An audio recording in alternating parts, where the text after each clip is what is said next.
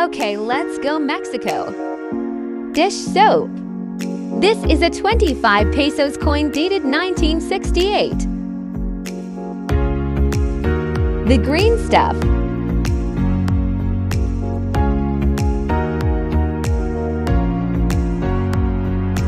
Metal polish.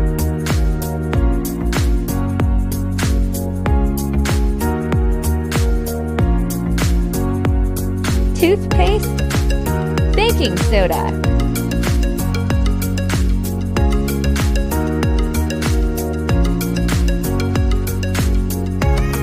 Silver polish.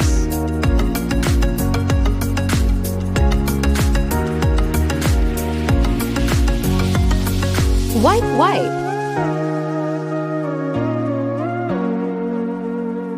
54 years of dirt removed.